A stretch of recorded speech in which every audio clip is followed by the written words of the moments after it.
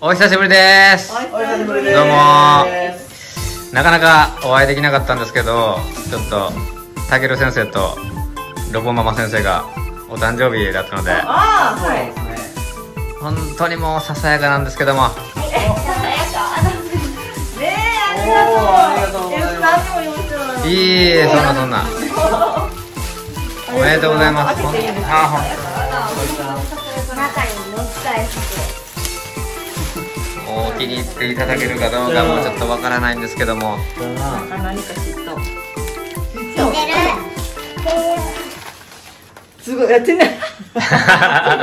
こう手抜きママママ説明。そう私がよく見てる本です。ああ 手抜き。めちゃくちゃあのふさわしいですそうそうねありがとうございますそうパッとできるやつ。YouTuber 忙しいし。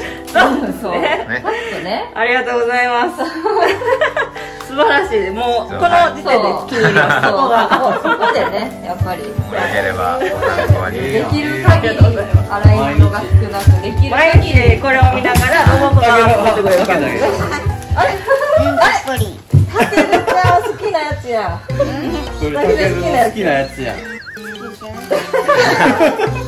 痛い痛い痛いたけこれ面るちゃん白いやん。たけるちゃん何がいいかな？でもずーっと悩んでても結果うんちかな。たけこれなんだけどほら。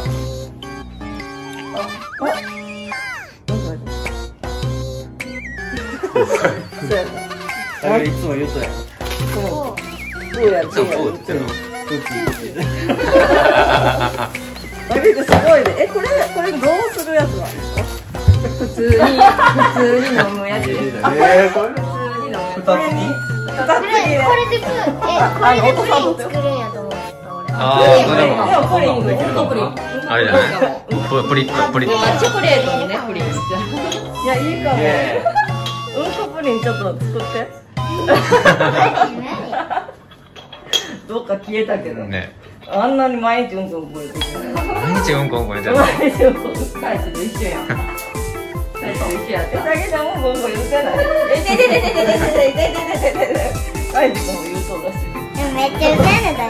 言うとんみんな好きや